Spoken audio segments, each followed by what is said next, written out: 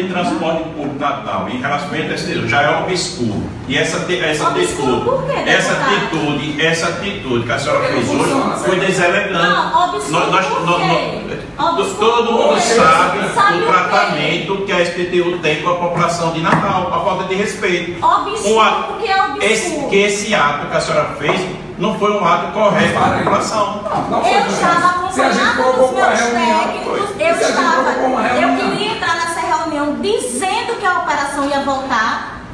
Porque desde sexta-feira que eu falo sobre não pode isso, dizer aqui na porque eu já queria chegar com a novidade e a empresa disse que tem Não. uma nova Vamos mudar a proposta. pauta. A pauta é Agora, eu não Vamos- admito que é obscuro, não. O Balbo, O senhor me ofende lá, dessa lá, lá a gente usa nosso poder regimental. A gente Não, ninguém pode poder. falar de obscuro e colocar a eu o da eu pessoa, Eu não. vou falar É porque a forma como a senhora Eu fez, eu. Não se faz isso não, Eu não não se faz isso concordo. Eu vou não. falar o que eu vou falar o que eu vi. Não. Pronto. Você viu, eu, Eu vi uma reunião recebi. secreta. Não, secreta não. Porque a gente não pode participar. Vereador, quando eu recebo todo Porque a gente mundo, eu não pode recebo na minha, sala. Pessoal, pessoal, por gentileza, vamos acalmar os ânimos. Não, eu dialogar. admito que fale que existe relação obscura aqui. É de parte a Não comigo.